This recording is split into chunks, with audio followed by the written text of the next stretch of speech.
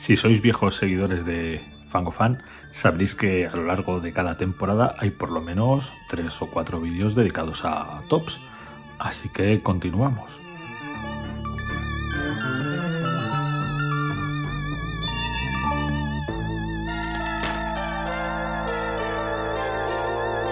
Y es que efectivamente hoy dedicaremos el Fangofan 60 al top 10 de videojuegos indies de terror modernos. Así que empezamos.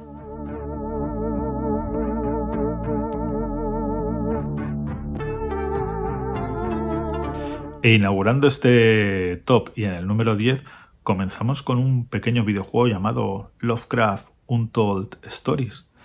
Este es un videojuego, en principio es un action RPG que con aspecto es un pixel art en el que tú llevas un personaje en ambientación totalmente Lovecraftiana, ¿no?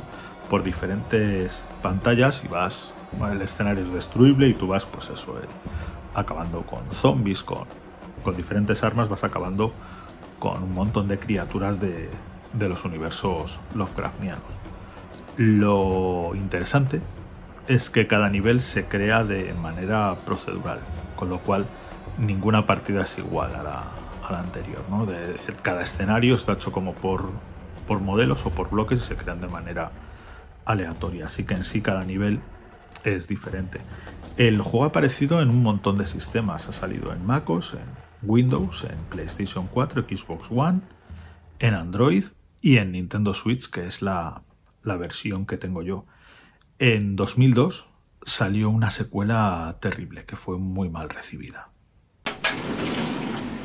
Viviet es una aventura también de aspecto pixel art. En este caso es una aventura gráfica o un survival horror más, más clásico, ¿no? En el que nuestros personajes o nuestro protagonista tiene que ir, eh, entrar a una mansión y al más puro estilo Resident Evil tiene que ir descubriendo habitaciones, cogiendo objetos, resolviendo puzzles para ir abriendo el resto de, de la casa. Es un juego eso de exploración y, y puzzles em, muy bien diseñado, eh, creado por un equipo español. Juegos de, de creación española. Como punto negativo, salió en 2018, sí, y como punto negativo, quizá es que se le ha acusado en alguna ocasión de ser excesivamente difícil. Ha aparecido en Steam para Windows y, en, y para Nintendo Switch.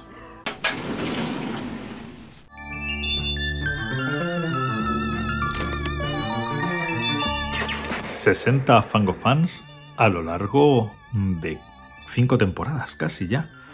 Em, ha sido un viaje largo. Un viaje que comenzó en octubre de 2019 con aquel divertido y mil veces repetido tráiler que imitaba eh, La rebelión de las máquinas, la película aquella de, Stephen King, hasta hoy.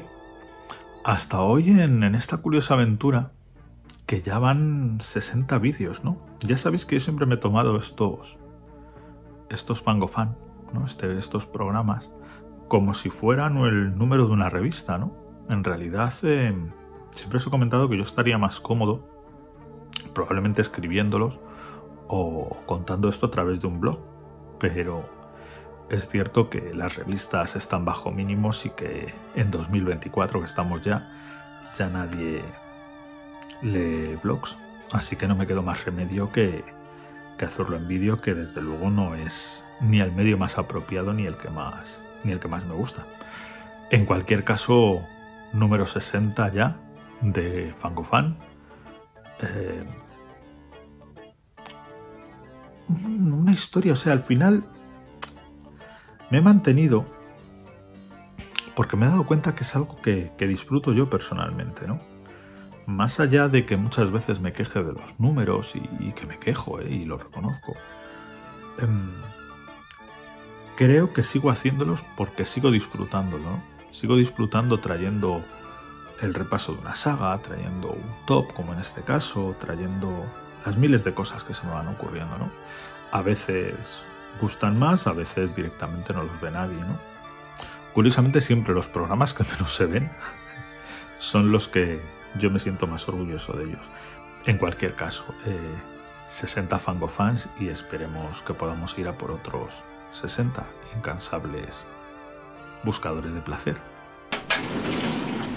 En el número 8 de este top llega un videojuego que a mí me impresionó mucho, Deathlight. Deathlight es un juego de terror en 2,5D, es un juego tipo plataforma también, creado por la compañía española Tequila Works. El juego es una historia de zombies, ¿no? Nuestro protagonista va por una ciudad eh, en medio de un apocalipsis zombie donde ha pasado ya tiempo, ¿no? El, protagonista se parece mucho o tiene cierto espíritu, ¿no? Eh, al Joel de The Last of Us. Em, el juego apareció originalmente para Windows, o sea, para PC, para Xbox 360 y para PlayStation 4 en 2012. Luego ha aparecido en más, en más formatos y en más, en más tiendas. De hecho, ahora mismo se puede comprar, yo creo, en casi cualquier en cualquier tienda digital. Una de las cosas chulas que tiene, o al menos que a mí más me gustaron, es su ambientación ochentera. Ocurre en una especie de, de años 80, ¿no? Como si de, una película desde los años 80 eh, fuese. No fue muy bien recibido por, por la crítica, esa es la verdad. ¿eh? Tuvo unas notas aproximadas de un, entre un 60 y pico y un 70 y poco ¿no? de, de media. Pero es un juego que, que me impresionó a pesar de, de su sencillez. En el número 7 de este top, una de las rarezas más grandes con las que yo me he encontrado en mi vida. Stories Untold. Stories Untold es un juego por episodios, o sea, tiene como tiene cuatro partes. Eh, y es un juego de puzzles. Es apareció en el año 2017. Ha aparecido para MacOS, para Windows, PlayStation 4, Xbox One y también está para, para Switch. Yo jugué la versión de PC. Yo la que tengo es la versión de PC. Em, el juego mola porque, por ejemplo, el, primer capítulo al que yo jugué es una aventura conversacional tipo las que había en, en Spectrum, ¿no? una aventura de estas de, de texto. El segundo tienes como que activar una serie de mecanismos de una especie de, de laboratorio. El otro es una estación de procesamiento y el, último, el caso es que son cuatro partes en el que son como cuatro juegos distintos para ir descubriendo ¿no? Eh, toda la trama a base de, puzzles. El juego tuvo una, una recepción bastante chula. Es un juego indie muy pequeñito y su puntuación en Metacritic es de 81. La verdad es que a mí sobre todo, de las cuatro partes, lo jugué hace tiempo, la parte de la aventura de texto conversacional me dejó flipando.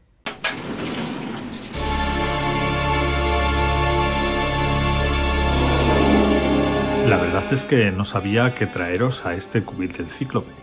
La mayoría de videojuegos que estamos comentando suelen tener una distribución puramente digital, así que buscando en las estanterías he encontrado esta pequeña joyita que tengo por aquí eh, un videojuego de PSP es un recopilatorio de videojuegos de SNK, de Neo Geo, que salió en el año...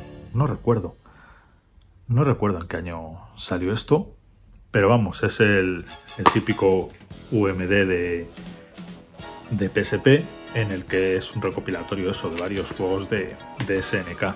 Todavía en esa época que venían los juegos con, con manual y bueno, eh, entre otros vienen eh, el Metal Slug, viene el King of the Monsters, eh, el Fatal Fury, viene uno que a mí me gusta mucho, que es el Turf Masters, este de golf, de Neo Geo, que si lo intentéis buscar en cartucho creo que vale un ojo de la cara o un riñón. En cualquier caso, este curioso recopilatorio para PSP es nuestra recomendación para este cubil del cíclope. Aquí van una serie de videojuegos de terror modernos indie que todavía tengo pendientes de jugar.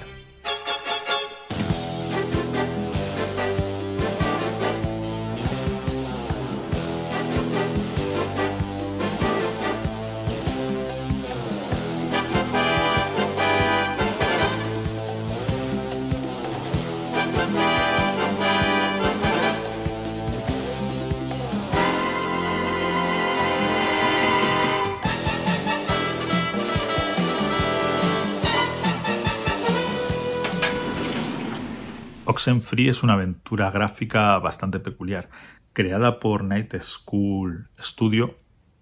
Nos cuenta la historia de dos hermanos eh, que con unos amigos se van a una isla. No son, bueno, no son dos hermanos porque es el padre de la chica y la madre del chico se han casado y son hermanastros a la fuerza, ¿no? Y, el chico es el nuevo del pueblo y la hermana se lo lleva con, sus amigos a una, a una isla, ¿no? Donde allí eh, tienen que descubrir una especie de, misterio bastante, bastante curioso. El, juego apareció en 2016 para Windows, para iOS, para Xbox One, PlayStation 4 hay una versión para Linux, otra para Android y también tiene su, versión para Nintendo Switch, que es la que, la que tengo yo. Ha tenido distribución en físico, por cierto. Y en los Game Awards de 2016 ganó el premio al mejor, a la mejor narración. Es un juego que, gustó mucho a la crítica, tanto por su diseño, su diseño es bastante curioso, ¿no? Parecen dibujos de acuarela, como si les cuento. Es una historia en realidad bastante bastante divertida que recuerda a ratos a incluso una aventura gráfica de LucasArts. Lo que pasa es que con cientos de miles más de líneas de, diálogo, ¿no? Em, la verdad es que es un juego bastante... Bueno, tenéis que descubrirlo, este Oxenfree. Y llegamos al número 5 de este top. Este es un juego bastante reciente. Fue publicado en, aunque fue publicado en 2019 para Stadia y en principio va a ser un exclusivo de, Stadia desarrollado por, de nuevo por Tequila Works, esta empresa española. Esto es un survival horror muy clásico, que en 2023, tras la calidad de Stadia, ha salido publicado para Play 4, 5, Xbox One, Series X y Windows. ¿Vale? Ahora es multiplataforma. Ya os digo, este es un survival horror súper clásico. De hecho, a ratos recuerda a un Silent Hill. Eh, lo que pasa es que más pequeño y más, más sencillo. En este caso nos cuentan la historia de una muchacha, una niña que está buscando a su amiga que ha desaparecido. Entonces se va a meter en una historia, ¿no? A través de, de su pueblo, por ejemplo, en el instituto, en las calles de la ciudad o en el barrio. ¿no? Tiene una ambientación como de una típica ciudad estadounidense, ¿no? Para que todo el mundo se meta un poco en situación qué tipo de, de, de historia nos queremos meter. El caso es que todo el juego en realidad es toda una alegoría contra el bullying, ¿no? En realidad nos iremos dando cuenta que de lo que huye nuestra protagonista, Sally, es del acoso escolar. Es un juego muy, muy serio en el fondo. O sea, toda esa aura de, de juego de, de, survival horror tan clásico, ¿no? Donde hay una manera muy divertida de acabar con los, con los enemigos, con, con la luz, un poco al Balan Wake, o tipo sigilo a lo The Last of Us, ¿no? Ya os digo que es muy clásico en forma y, fondo este juego. Luego nos iremos cuenta nos iremos dando cuenta de, de la realidad y de lo que nos quiere contar este juego que es un terror mucho más real que la fantasía que nos vamos a encontrar en, en pantalla. En el número 4 de este top llega un juego muy reciente. Este juego también es de 2023. Full Boy. Full Void ahora mismo es un juego multiplataforma, está, yo creo que está en todos los sistemas, lo puedes comprar en Steam, lo podéis comprar en Nintendo Switch, pero es un juego en principio creado exclusivamente para, para la Evercade, esta consolita que hay un sistema de mesa y otro portátil para jugar a juegos retro eh, totalmente licenciados, ¿no? Bueno, pues este es un, juego nuevo, creado de cero, eh, exclusivo en principio para esa consola, aunque luego ha sido portado a otras con una estética que recuerda un poco a, los juegos de, la Amiga, por ejemplo, ¿no? Eh, tiene ese rollo gráfico, En este caso es un juego bastante... Es un juego de, desarrollo en 2D, de hecho los gráficos son 2D o 2,5D, y es una aventura en un mundo que parece que, que ha sido invadido por aliens, o por robots, ¿no? Y el mundo ha terminado y seguimos a nuestra protagonista que huye como de una terrible inteligencia artificial que la persigue, ¿no? Un, bicho que a rato recuerda a estos bichos que aparecían en el, en el Metroid Dread. Es un juego muy cortito, es un juego bueno, con sus puzzles, su desarrollo, un juego muy interesante. Este, este Bull Boys que, que bueno, totalmente recomendable.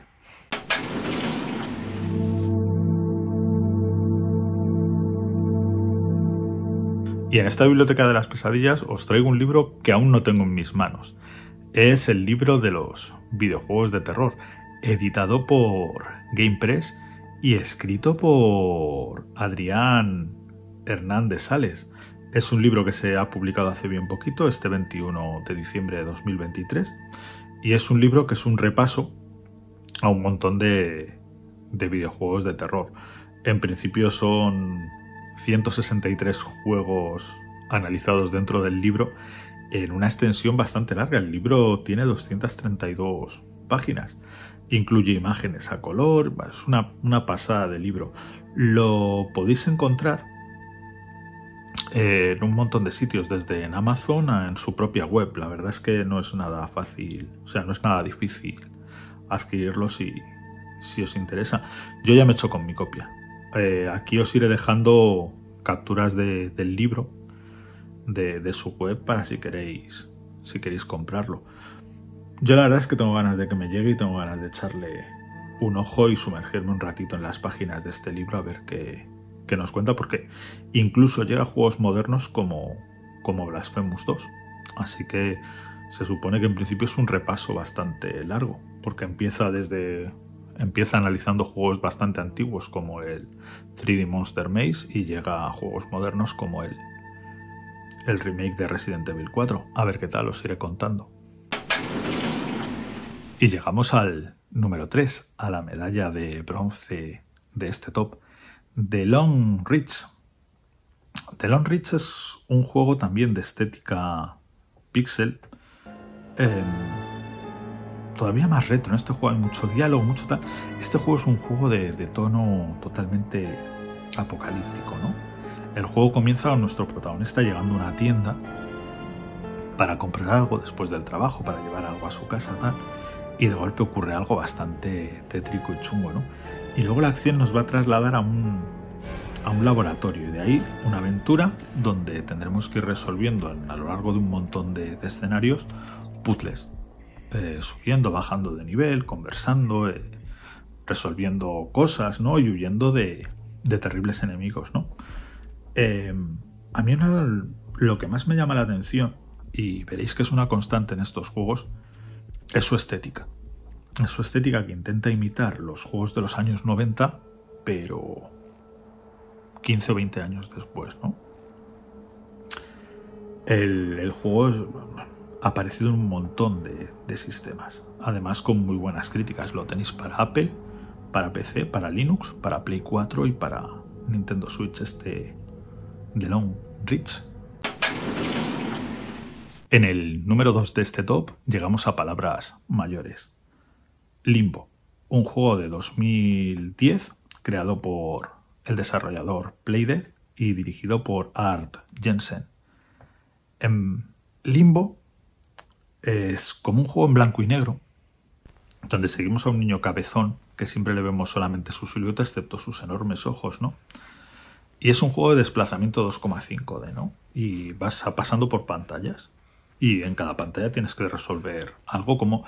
Em, pues Full Void es muy parecido, Deathlight es muy parecido. En este top hemos hablado de, varios juegos que, funcionan de, de la misma manera.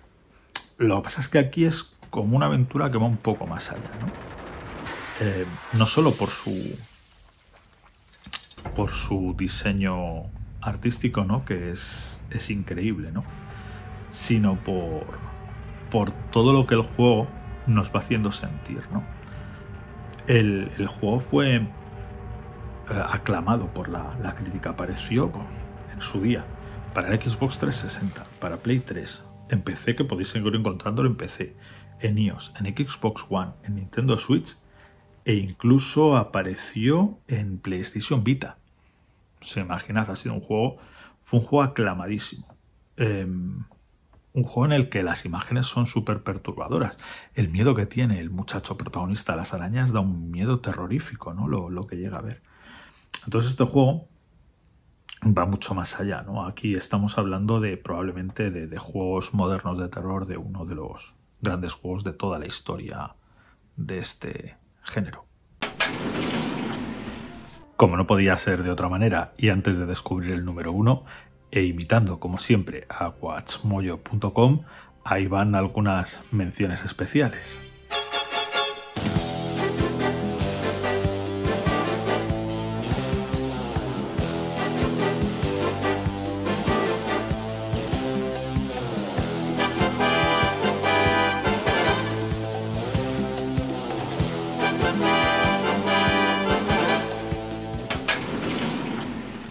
Y si Limbo es el número 2, siendo uno de los grandes videojuegos de la historia de este género, ¿cuál puede ser el número 1? Pues Inside. Inside es otro juego de Playdead, también dirigido por Art Jensen, y es un sucesor espiritual de Limbo, que apareció unos años después, apareció en el año 2016, seis años después, para Xbox One, para Windows, para PlayStation 4, luego apareció también para Mac, y en 2018 apareció para Nintendo Switch. Es un juego multiplataforma. Aquí es lo mismo. Seguimos a un niño en desplazamiento 2,5D. Lo que pasa es que aquí ya no es en blanco y negro totalmente. Aquí el escenario es oscuro, también rozando el blanco y negro, aunque es en color. Y prácticamente lo único que vamos a ver es la camiseta roja de, de nuestro protagonista, ¿no? Un muchacho sin nombre que de nuevo se va a ir desplazando por, un escenario totalmente oscuro ¿no? y, tétrico, ¿no? en el que tendremos que resolver puzzles, eh, al fondo veremos detalles de lo que está pasando, veremos enemigos, veremos... Es un juego igualmente bastante terrorífico, ¿no? Donde además, al volverse un juego de culto, tiene un montón de teorías de lo que está pasando. Si Limbo fue reconocido universalmente por toda la crítica como un gran juego, la gente se volvió loca ya con, con Inside. ¿no? Lo de Inside fue... Eh, han llegado a calificarlo como uno de los grandes videojuegos de, de toda la historia de, de, su género y de... De hecho, en los Game Awards de 2016 ganó el premio al mejor juego independiente. Lo ha ganado un montón, tiene, tiene premios para aburrir. Hoy en día lo podéis encontrar en cualquier parte Inside. Ese es un juego que está para todas las plataformas y sigue siendo un clásico. Su único pero, que en dos horas y pico tres os lo habéis pasado. Es un juego muy, muy cortito. Pero bueno, más que la longitud del juego, se supone que por lo que vais a adquirirlo, si no lo habéis jugado ya, es por la, por la experiencia del juego. Pues esto ha sido todo, incansables buscadores de placer. Como siempre os digo, eh, darle like, que sube nuestro ego, suscribíos y activad la campanita. Seguidme en las redes sociales, sobre todo en Twitter X, y estad atentos porque dentro de muy poco nuevo Fangofan. Así que estad atentos. Nos vemos pronto. Adiós.